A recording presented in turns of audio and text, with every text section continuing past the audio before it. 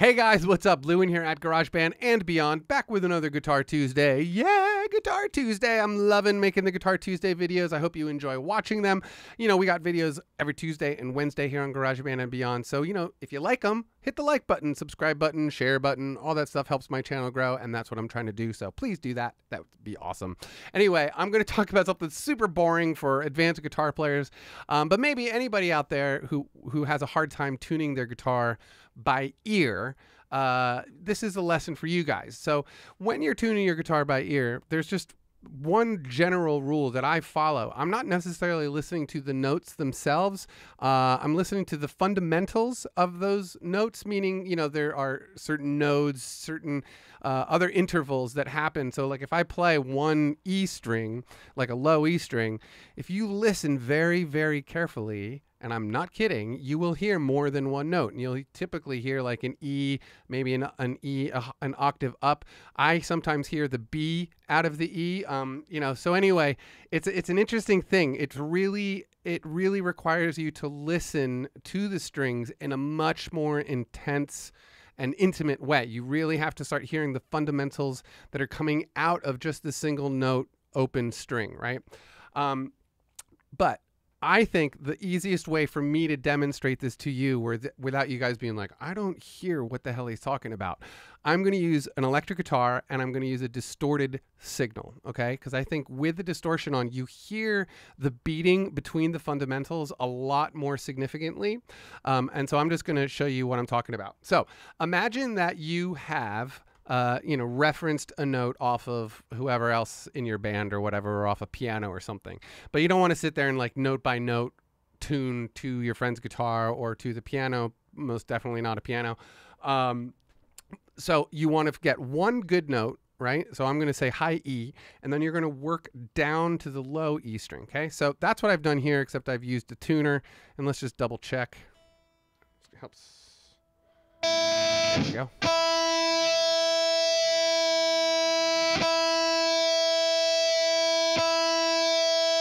So somewhere in there should be good. So now I know that uh, this, I just picked this guitar up and every string was a little bit flat. So I tuned just the high E string. So now all of them are a tiny bit flat. Okay, so that's, you can see how flat the B is. Okay, so I'm going to turn this off and I'm going to just talk and show you what I'm talking about. So as I mean, this helps if you have headphones or you're in your studio, but listen to what is going on um, between the notes. Okay, as I start tuning the B string, you will hear a you'll hear a beating in the distortion. It'll, it'll start a little slower, and as I get closer, or it'll start quickly, and then as I get uh, closer to the actual note, it will start slowing down. And then if I go past it, it'll start speeding up again. Right. So, for example, this is what I'm talking about.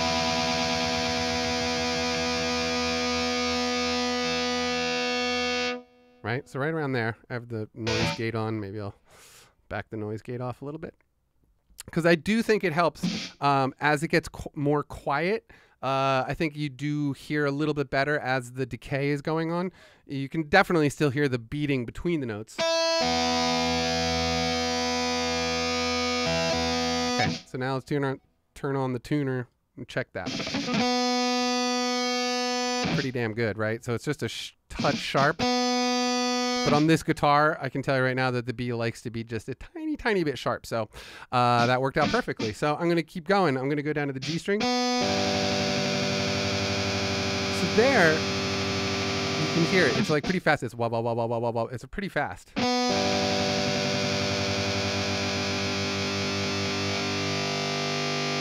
Right? And then you should have definitely just heard that slow down and then stop. So now, let me show you. If I go past the note, it gets really fast really quickly. Hear that? Wah, wah, wah, wah, wah, wah, wah.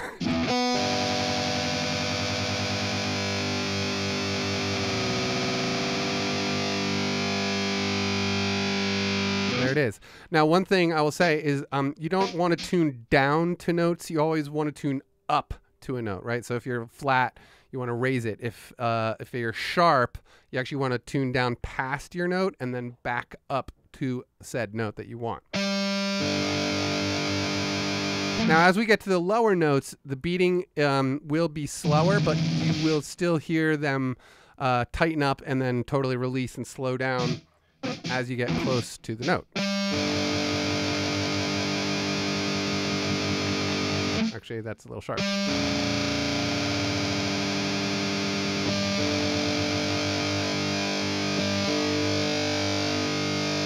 Okay, that's that.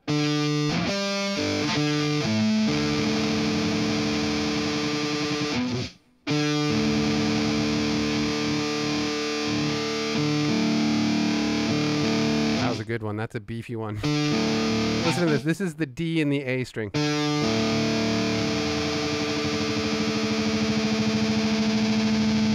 Hear that wobbling? That's what you should be listening to.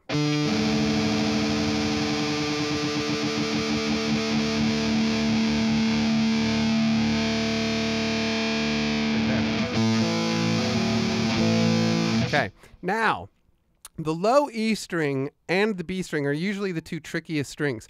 My personal secret is to use the B and the E string as you're tuning them, right? So now that I know the B's in tune, right? I know the B's in tune now, so I can actually use that as my reference note for the E. And check this out. You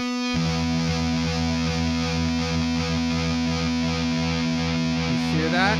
You hear that wow wow wow wow. If I do it between the A and the E, it's not. You can probably still hear a little bit of it because of the distortion being on, but it won't be as pronounced. Right? It's a lot faster because they're the notes are closer to each other. This B and this E are pretty far apart. They're an octave apart. Um, so there's a big variance there for that wobble to go. So it's a lot more pronounced.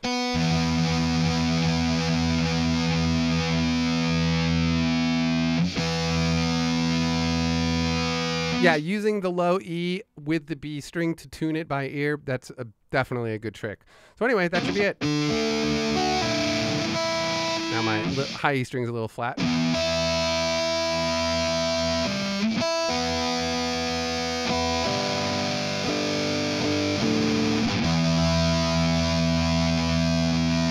it is.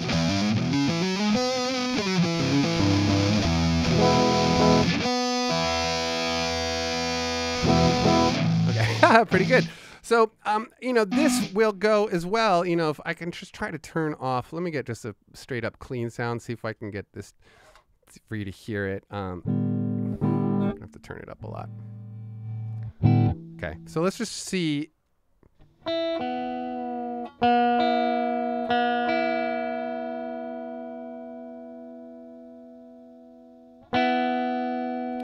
Yeah, I can definitely hear it, but it's not nearly as pronounced. That's why I was using the um, distortion because it is. But the point of everything that I'm talking about here is what you are listening to, right? So when you're tuning your guitar, like I said, start with a reference note from someone else in your band or a piano, whatever you may have in the house that is in tune, a tuning fork, for example, pitch pipe, for example. Um, start with that note and then tune around that one note. By listening to how the notes are interacting, right? It's all about hearing that beating. The more you try to listen to the fundamentals of every guitar string, um, you know, like I said, like if I play this low E string.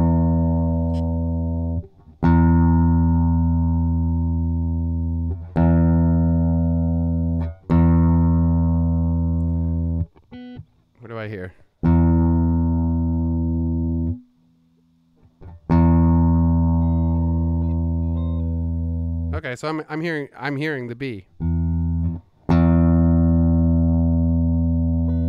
It's like up here.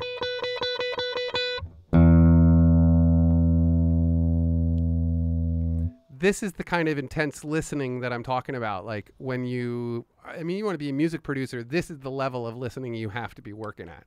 Um, you have to be able to hear the the other notes that are being played when one single note is you know being struck there are other notes that are audible. If you listen quietly and intensely enough you will hear those other notes. Then the trick is to get your brain to identify them and then you can sit down and identify them on the instrument right? So you got to be able to translate it all the way through to an actual physical note on your instrument. Um, when I I made videos about something called the act of listening, and this is very much inside of that. Uh, tuning your guitar by ear is really, really tricky. It takes a long time to get it right, but if you sort of just listen to what I'm saying here, just just listen to those fundamentals, listen to the way they beat against each other, and find the point where they stop beating each other up and they're all smooth. Uh, because those intervals will be nice and smooth when you find the right place. So, this is probably the worst and most boring video I've made in a long time, but it's Guitar Tuesday. I get to do whatever I want, so that's cool. All right, you guys. Well, if you have any questions or comments or any other techniques that you like to share about tuning guitars by ear, leave them in the comment section below. And um, I think that's it. So have a great day, and I'll see you guys on Friday, right? Peace.